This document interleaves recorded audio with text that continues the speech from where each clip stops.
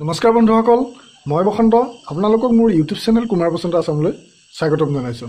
আজিৰ এই ভিডিঅ'টোত মই আলোচনা কৰিম জ্যামিতিৰ সম্পৰ্কে কিছু দৰকাৰী কথা য'ত থাকিব চতুৰ্ভুজ সামান্তৰিক আয়ত বৰ্গ ৰম্বাছ আদিৰ বিষয়ে।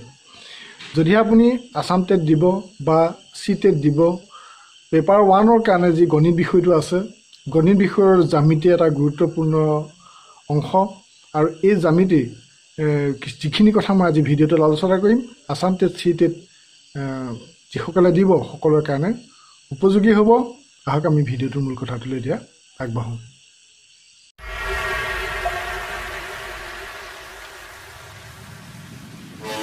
বন্ধুসকল আপোনালোকক মই এটা দৰকাৰী কথা কৈ লওঁ এইখিনিতে যে এই ভিডিঅ'টোৰ যি ডেছক্ৰিপশ্যন আছে তাত মই টেটৰ সম্পৰ্কীয় গোটেইখিনি ভিডিঅ' একেলগে গোটাই এটা প্লে'লিষ্ট কৰি থৈছোঁ। আৰু প্লে'লিষ্টটোৰ লিংকটো মই প্ৰথমেই দি থৈছোঁ। আপুনি হয়তো মই আপলোড কৰা কিছুমান ভিডিঅ' নাপাবও পাৰে গতিকে আপুনি এটা কাম কৰিব এইটো ভিডিঅ' চাই শেষ হোৱাৰ পিছত এই ভিডিঅ'টোৰ যি ডেছক্ৰিপশ্যন আছে সেই ডেছক্ৰিপশ্যনত যিটো প্লে'লিষ্ট দি থৈছোঁ তাত আপোনালোকে ক্লিক কৰিব। ক্লিক কৰাৰ লগে লগে গোটেইখিনি ভিডিঅ' একেলগে দেখিবলৈ পাব। আপোনালোকে যিকেইটা চোৱা নাই তেতিয়া চাব পাৰিব। আৰু চেনেলটো যদিহে ছাবস্ক্ৰাইব নকৰাকৈ আছে জৰুৰ ছাবস্ক্ৰাইব কৰিব। কাৰণ যদিহে ছাবস্ক্ৰাইব নকৰে তেতিয়াহ'লে মই আগলৈ দিব লগা ভিডিঅ'বোৰ কেতিয়াও আপুনি চাবলৈ নাপাব। আৰু ছাবস্ক্ৰাইব কৰাৰ পিছত যিটো বেল আইকন ওলায় তাতো প্ৰেছ কৰিবলৈ নাপাহৰিব। কাৰণ প্ৰেছ কৰি থ'লেহে ইউটিউবত সহজে মই আপলোড কৰাৰ লগে লগে পাবলৈ সহ মানে সক্ষম হ'ব। এতিয়া মই ভিডিঅ'টোৰ মূল কথাটোলৈ আগবাঢ়োঁ। যে আজি মোৰ যিটো আলোচনাৰ বিষয় সেইটো হৈছে জ্যামিতিৰ কিছুমান আকাৰৰ সম্পৰ্কে। বহুখিনি কথা আলোচনা কৰিম এটা ভিডিঅ'তে গোটেইখিনি শেষ নহয়।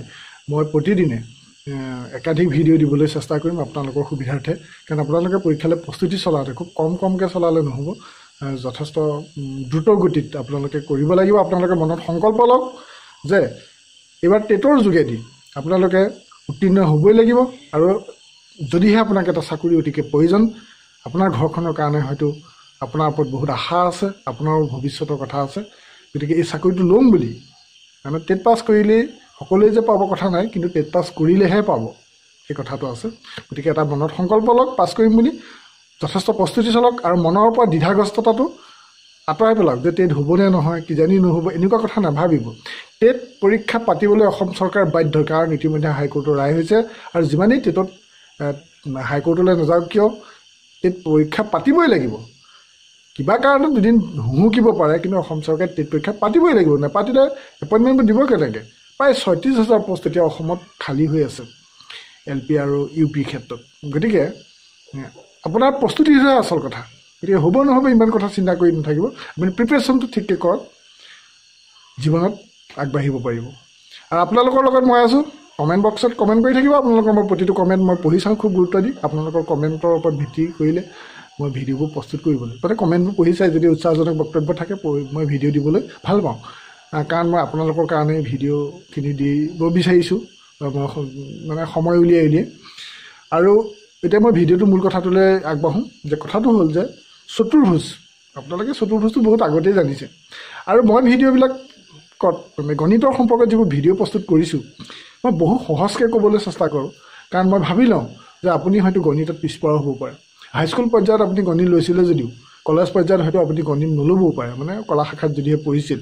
বা আপুনি হাইস্কুল পৰ্যায়ত গণিত লৈছিলে যদিও গণিত হয়তো আপুনি বহুত বেয়া পাইছিলে বা গণিতৰ কথা কিছুমান নুবুজাকৈ আছিলে কিন্তু টেটত পাছ কৰিবলৈ হ'লে আপুনি কথাবোৰ ক্লিয়াৰকৈ জানিবই লাগিব।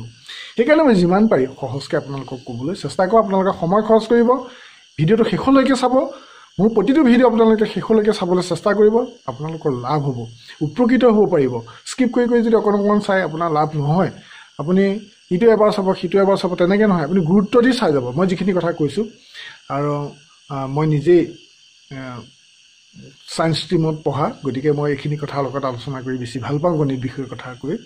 গতিকে মই আপোনালোকক অনাগত দিনবিলাকত গণিতৰ আৰু সকলোখিনি কথা মই বুজাবলৈ চেষ্টা কৰিম। যিমানবিলাক জটিল কথা আছে আপোনালোকে কেনেধৰণৰ জটিল কথা পায়। গণিতৰ আচলতে কোন কোনকেইটা কথা আপোনালোকে বৰ বুজাত অসুবিধা পায়? কোনোবাই সোতৰ অংকৰ অসুবিধা পায় কোনোবাই বয়সৰ অংক কোনোবাই জ্যামিতিৰ কথা কোনোবাই কিবা সমীকৰণৰ কথা। এনেধৰণৰ কথাবিলাক আপোনালোকৰ অসুবিধা হয় কমেণ্ট বক্সত জনাব। তেতিয়া মই তেনেখিনি কথাৰ ওপৰত আপোনালোকৰ কাৰণে ভিডিঅ' প্ৰস্তুত কৰিবলৈ বেছি ভাল পাম যেই নহওক মই ভিডিঅ'টো মোৰ কথাটোলৈ যোৱাই নাই আপোনালোকে এইখিনি আগতীয়াকৈ কৈ আছোঁ। বেছি কথা আজি নকওঁ। মই আপোনালোকক এই দৰকাৰী কথা কেইটামান কৈ দিওঁ যে চতুৰ্ভুজটোৰ কথা আপোনালোকে জানে যে চাৰিটা বাহুৰে আবৃত। সামতলিক ক্ষেত্ৰক চতুৰ্ভুজ বোলে। চতুৰ্ভুজ বুলি ক'লে মুঠতে বাহু চাৰিডাল থাকিব এইটো সামতলিক এখন ক্ষেত্ৰ। নেক্সট সামন্তৰিক। যে এটা চতুৰ্ভুজৰ বিপৰীত বাহু দুযোৰ সমান আৰু সমান্তৰাল হ'লে কি ক'লোঁ আকৌ কৈছোঁ যে এটা চতুৰ্ভুজৰ বিপৰীত বাহু দুযোৰ মনত ৰাখিব এযোৰ নহয় আকৌ দুযোৰ দুযোৰ সমান আৰু সমান্তৰাল হ'লে তাক সামন্তৰিক বোলে। সেইটো কথা দৰকাৰ হ'লে আপোনালোকে নোট কৰি ল'ব। বহুতে স্ক্ৰীণত দিলে কথাখিনি সুবিধা পায় কিন্তু মোৰ যিহেতু কম সময়ত মই ভিডিঅ'টো প্ৰস্তুত কৰিব লাগে। মই কোৱা কথাখিনি আপোনালোকে লিখি ল'ব পাৰিব একো অসুবিধা নাই ভিডিঅ'টো পষ্ট কৰিব মানে ৰাখি ল'ব ৰাখি লৈ কথাখিনি বহি নোট কৰি ল'ব তেতিয়া সুবিধা হ'ব। মই যিমান পাৰি স্পষ্টভাৱে কৈ আছোঁ কথাটো। এতিয়া সামন্তৰিক এইখিনিতে এটা কথা আছে সকলো চতুৰ্ভুজেই সামন্তৰিক হ'ব নোৱাৰে আকৌ কিন্তু সকলো সামন্তৰিকেই চতুৰ্ভুজ হয়। মই আপোনালোকক বুজাবলৈ এটা উদাহৰণ দিওঁ যে সকলো মানুহেই ছোৱালী নহয়। কিন্তু সকলো ছোৱালীয়ে মানুহ হয়। বুজি পাইছে কথাটো? সকলো মানুহটো কেতিয়াও ছোৱালী নহয়। কিন্তু সকলোবোৰ ছোৱালীয়ে মানুহ। ঠিক সেইদৰে সকলোবোৰ চতুৰ্ভুজেই সামন্তৰিক নহয়। কিন্তু সকলোবোৰ সামন্তৰিকেই চতুৰ্ভুজ হয়। এনেধৰণৰ প্ৰশ্নবোৰ টেটত আহে। তলৰ কোনটো বাক্য সত্য? বাছি উলিয়াব লাগে কোনটো অসত্য। আমাৰ চাৰিটা দি থ'ব তাৰ কোনোবা এটা অসত্য থাকিব আপুনি বাছি উলিয়াব লাগিব। বা চাৰিটা বাক্যৰ ভিতৰত কোনটো হয় তিনিটা নোহোৱা বাক্য থাকিব এটা হোৱা বাক্য সেইটো বাছি ল'ব লাগে। বুজি পাইছে? এই কথাখিনি আপোনালোকে ক্লিয়াৰ জানি যাব। তাৰপিছত আহিলে আয়ত। এটা সামন্তৰিকৰ এটা কোণৰ মাপ নব্বৈ ডিগ্ৰী হ'লে সামন্তৰিকটোক সামন্তৰিকটোক আয়ত বুলি কোৱা হয়। আকৌ কৈছোঁ যে এটা সামন্তৰিকৰ এটা কোণৰ মাপ নব্বৈ ডিগ্ৰী হ'লে সামন্তৰিকটোক আয়ত বুলি কোৱা হয়। এতিয়া আয়ত মানে আচলতে এই সামন্তৰিকটোৰ লগত মই ডেফিনিশ্যনটো মিলাই কৈছোঁ যে সামন্তৰিকৰ যিকেইটা বৈশিষ্ট্য থাকে সেইকেইটা আয়ততো থাকে কিন্তু এটা বেছিকৈ কি থাকে সেইটো হৈছে তাৰ কোনবিলাক নব্বৈ ডিগ্ৰী আপোনাৰ খিৰিকীখন আপোনাৰ দুৱাৰখন ইটাৰ টুকুৰা এটা এইবোৰ আয়তাকাৰ বস্তু আপোনাৰ খিৰিকীখন আয়তাকাৰ তাৰ মুখামুখি বাহুযোৰ সমান বিপৰীত বাহুযোৰ মানে খিৰিকীখনক আপুনি কল্পনা কৰকচোন। ইফালে থকা যিডাল বাহু থাকিব ওপৰত আৰু তলত যিটো আপোনাৰ এখন খিৰিকী কল্পনা কৰক ওপৰ বাহু তলৰ বাহু সমান নহয় জানো? আৰু সোঁফালে বাওঁফালে বাহু দুটা সমান আৰু কোনবোৰ কিমান ডিগ্ৰী হ'ব? নব্বৈ ডিগ্ৰী হ'ব। সেইটো হ'ল সামন্তৰিক গতিকে দুৱাৰ খিৰিকী এইবিলাক আয়তৰ আকাৰ হয়। সামান্তৰিক বুলি বুলি ক'লে ক'লে বস্তুটো প্ৰতিটো কোণ নব্বৈ ডিগ্ৰী হ'ব সেইটো কথা নহয়। সামান্তৰিকবিলাক কি হয় বুজি পাইছে? যে বিপৰীত মানে বাহু সমান হ'ব লাগিব। বিপৰীত বাহু বুলি কওঁতে বাহু চাৰিডালেই থাকে গতিকে দুযোৰ বাহু বুলি ক'লে তাৰমানে মুখামুখি বাহু দুযোৰ। বাহু যিটো আছে সন্মুখত যিটো বাহু আছে মানে বাহু দুযোৰ সমান আৰু সমান্তৰাল সমান্তৰাল কথাটো থাকে। আৰু আয়তত কি হয় যে নব্বৈ ডিগ্ৰী। আৰু এটা কোণ নব্বৈ ডিগ্ৰী হোৱাৰ লগে লগে প্ৰতিটো কোণেই নব্বৈ ডিগ্ৰী হ'ব লাগিব।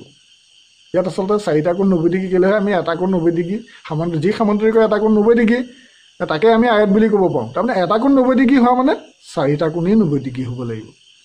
গতিকে আয়ত আৰু সামন্তৰিক বুজি পাইছে নিশ্চয় কথাটো? যদি আৰু কিবা বুজা নাই আপোনালোকে কমেণ্ট বক্সত জনাব বা স্ক্ৰীণত দেখুৱাই পেলাই বুজাই দিম। তাৰপিছতে বৰ্গ। কমে কমে অকণমান মডিফাই হৈ গৈ আছে বস্তুবিলাক। যে চতুৰ্ভুজৰ পৰা আমি সামন্তৰিক পালোঁ সামন্তৰিকৰ পৰা আয়ত পালোঁ। এইবাৰ আয়তটো কল্পনা কৰক। যে আপোনাৰ খিৰিকীখন এনেকুৱা তাৰ দিশ পথালি সমান।